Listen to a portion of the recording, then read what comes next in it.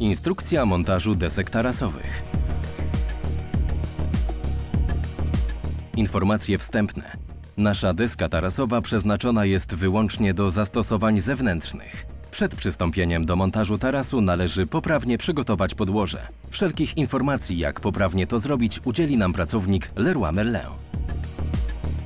Układanie legarów. Należy stosować legary z drewna o gęstości maksymalnie zbliżonej do gęstości drewna, z jakiego wykonany będzie taras. Rozstaw legarów dla deski tarasowej o przekroju 27 na 145 mm powinien wynosić około 50 cm. W celu poprawnego rozstawu między legarami można użyć przekładek dystansowych o długości około 50 cm.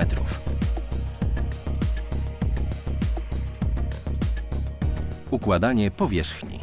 Do montażu desek tarasowych z legarami należy używać wkrętów ze stali nierdzewnej o długości co najmniej dwa razy większej niż grubość montowanej deski.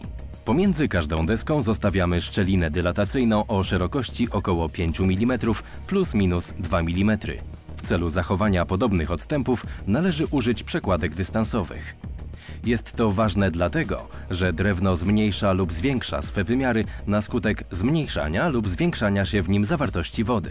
W czasie użytkowania tarasu deski będą rozszerzać się i kurczyć. W przypadku braku lub zbyt małej przestrzeni między deskami mogą się one zejść, a powstałe między nimi naprężenia mogą doprowadzić nawet do zerwania wkrętów lub wygięcia się desek. W celu uniknięcia pęknięć wzdłużnych podczas montażu desek do legarów należy uprzednio nawiercić zarówno deski, jak i legary. W tym celu należy używać wiertła o średnicy o 1 mm mniejszej niż średnica wkręta. Pamiętajmy o wolnych obrotach wkrętarki przy montażu wkrętów.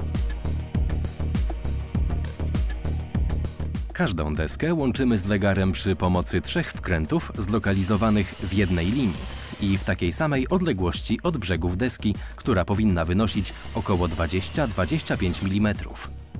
Odpowiednie rozmieszczenie wkrętów zapobiegnie wyginaniu się brzegowych części desek. Szczelinę między deską a ścianą budynku można powiększyć do 10 mm.